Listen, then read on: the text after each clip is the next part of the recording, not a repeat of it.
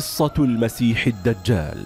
عن أنس رضي الله عنه قال قال رسول الله صلى الله عليه وسلم ما من نبي إلا وقد أنذر أمته الأعور الكذاب.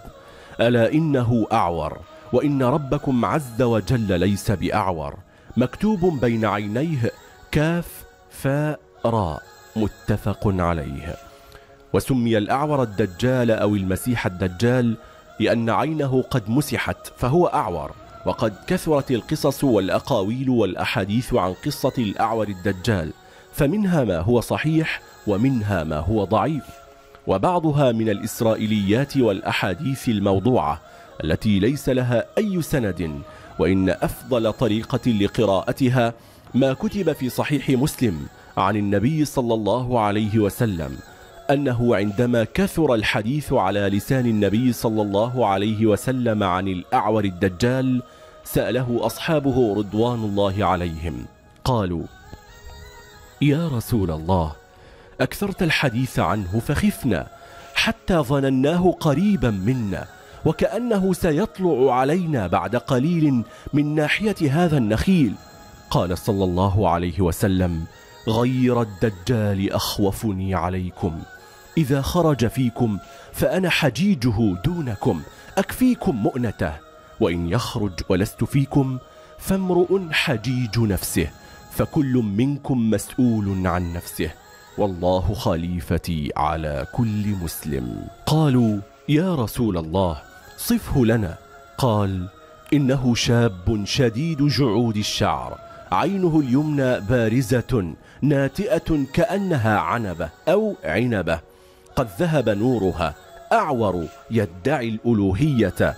مكتوب على جبينه كافر. يرى المؤمن ذلك واضحا. قالوا فمن أين يخرج يا رسول الله؟ قال يخرج من طريق بين الشام والعراق فيعيث فسادا في الأرض أينما ذهب. قالوا فما لبثه في الأرض؟ كم يبقى في الأرض؟ قال أربعون يوما. يوم كسنة ويوم كشهر ويوم كجمعة وسائر أيامه كأيامكم. قالوا يا رسول الله فذلك اليوم الذي كسنة أتكفينا فيه صلاة يوم؟ فالصلاة للمسلم كالماء للحي لا يعيش دونها. قال لا اقدروا له قدره فلا بد من تقسيم الوقت في هذا اليوم وكأنه سنة. قالوا فمن يتبعه يا رسول الله؟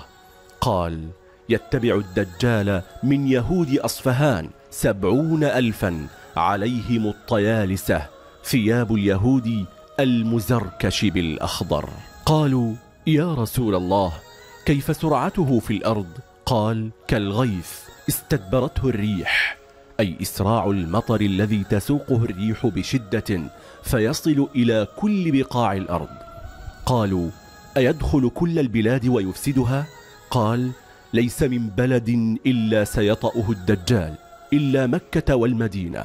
تحول الملائكة بينه وبينهما صافين يحرسونهما. فإن وصل المدينة نزل بالسبخة القريبة منها فترجف المدينة ثلاث رجفات يخرج الله منها كل كافر ومنافق. قالوا فماذا نفعل إن ظهر ونحن أحياء؟ قال انفروا في الجبال ولا تقفوا في طريقه فما بين خلق آدم إلى قيام الساعة أمر أكبر من الدجال فمن أدركه منكم فليقرأ عليه فواتح سورة الكهف. قالوا فما الذي يفعله؟ قال يأتي على القوم فيؤمنون به ويستجيبون له فيأمر السماء فتمطر والأرض فتنبت وتعود عليهم إبلهم وأبقارهم وأغنامهم ضخمة الأجسام ممتدة في الطول والعرض سمنا ويكثر لبنها وهذا استدراج كبير نسأل الله الثبات على دينه. ويمر بالخربة التي هجرها أهلها منذ غابر الأزمان فيقول لها أخرجي كنوزك فتتبعه كنوزها كذكور النحل المجتمعة. فيزداد أتباعه به ضلالا. ويأتي على القوم فيدعوهم فيردون عليه قوله ويثبتهم الله على الإيمان. فينصرف الدجال عنهم فيصبحون ممحلين. ينقطع الغيث عنهم وتيبس الأرض والكلأ. ليس في أيديهم شيء من أموالهم ولا أنعامهم. نسأل الله أن يثبتهم على دينهم. قالوا يا رسول الله أمعه شيء غير هذا؟ قال نعم. فمن ذلك أن الدجال يخرج ومعه ماء ونار. فأما الذي يراه الناس ماء فنار تحرق. وأما الذي يراه الناس نارا فماء بارد وعذب. فمن أدركه منكم فليقع في الذي يراه نارا فإنه ماء عذب طيب. قالوا يا رسول الله أفلا نحاجه ونكذبه؟ قال لا يظنن أحدكم أنه قادر على ذلك فإذا ذهب إليه فتنه فتبعه فضل وكفر قالوا فمن أعظم شهادة عند رب العالمين إذ ذاك قال يتوجه إليه رجل من المؤمنين فيتلقاه مقدمة جنود الدجال فيقولون له إلى أين تذهب أيها الرجل؟ فيقول أعمد إلى هذا الرجل الذي يزعم أنه إله فيتعجبون من جوابه ويسألونه أو ما تؤمن بربنا؟ فيقول هذا ليس ربا إنما ربكم الذي خلق السماوات والأرض وما هذا إلا مارق كافر فيثورون فيه ويتنادون لقتله ويهمون بذلك لولا أن كبيرهم يذكرهم أن الدجال أمرهم ألا يقتلوا أحدا حتى يعلموه بذلك فيقيدونه وينطلقون به إلى الدجال. فإذا رآه المؤمن صاح بأعلى صوته أيها الناس لا يغرنكم هذا الشيطان فإنه أفاك دجال يدعي ما ليس له. هذا الذي حذركم منه رسول الله صلى الله عليه وسلم. فيشتد غضب الدجال ويأمر زبانيته فيوثقونه مشبوحا ويوسعون ظهره وبطنه ضربا. فيقول الدجال مغضبا آمرا رجاله أن يؤذوه ويشجوه؟ فيزداد الرجل المؤمن إيمانا. حين ذاك يأمر الدجال رجاله أن ينشروه بالمنشار من رأسه إلى أن يفرق بين رجليه. فيفعلون ويبعدون القسمين أحدهما عن الآخر. فيمشي الدجال بينهما مستعرضا ألوهيته فيخر الناس ساجدين له. فينتشي عظمة وخيلاء ثم يقول له قم! فيقترب النصفان فيلتحمان فيعود الرجل حيا فيقول له الدجال أتؤمن بي إلها؟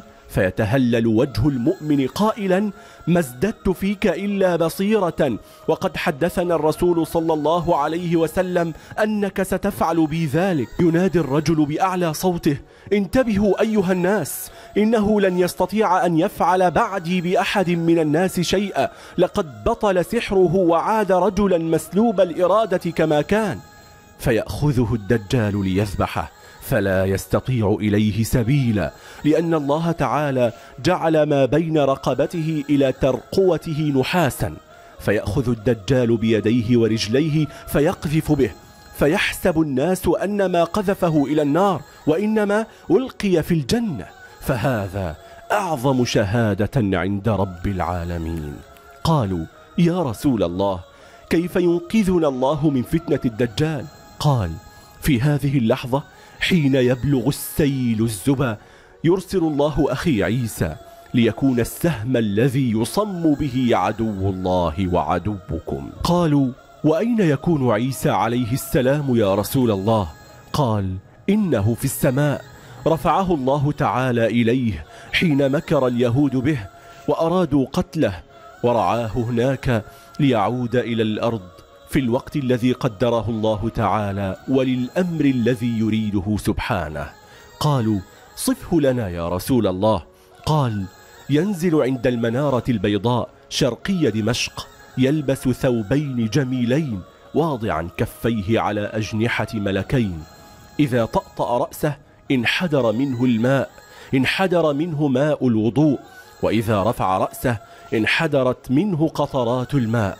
كأنها اللؤلؤ الصافي فلا يحل لكافر يجد ريح نفسه إلا أن يموت وينتهي نفسه إلى حيث ينتهي طرفه قالوا أليس في ذلك الوقت جماعة للمسلمين؟ قال بلى إنه المهدي إنه المهدي الذي يملأ الأرض قسطا وعدلا بعد أن ملئت جورا وظلما ينصر الله المسلمين على يديه. إنه من آل بيتي من ولد الحسن بن علي وهو الذي يفتح روما عاصمة الروم الإيطاليين يبيد جيوش أوروبا الكافرة. قالوا ولم يجتاح الدجال البلاد والمسلمون أقوياء إذ ذاك؟ قال ألم أقل لكم إنها الفتنة الكبرى حيث يرتد كثير من المسلمين على يد المسيح الدجال. قالوا وأين يكون المهدي يا رسول الله؟ قال في القدس يحاصره الدجال ويحاول اقتحامها ليجعلها عاصمته الأبدية عاصمة اليهود ودجالهم. والمهدي وجنوده يدافعون عنها ويقاتلون ما وسعهم القتال. قالوا وماذا يفعل المسيح عليه السلام حين ينزل في دمشق؟ قال ينطلق إلى القدس فيدخلها فيتعرف المهدي عليه والمسلمون ويفرحون لنزوله فيستلم قيادة الجيش ويهاجم الدجال. قالوا فماذا يفعل الدجال حين يسمع بعيسى عليه السلام قادما؟ قال يفر من بين يديه إلى اللد وهي مدينة في فلسطين قريبة من القدس لكن عيسى عليه السلام يتبعه ويطعنه برمحه فيذوب بين يديه كما يذوب الملح في الماء ويرفع الله الهم والغم عن المسلمين ويحدثهم عيسى رسول الله بدرجاتهم في الجنة ويمسح عن وجوههم بيده الشريفة فما في الدنيا إذ ذاك أعظم سعادة منهم رواه مسلم.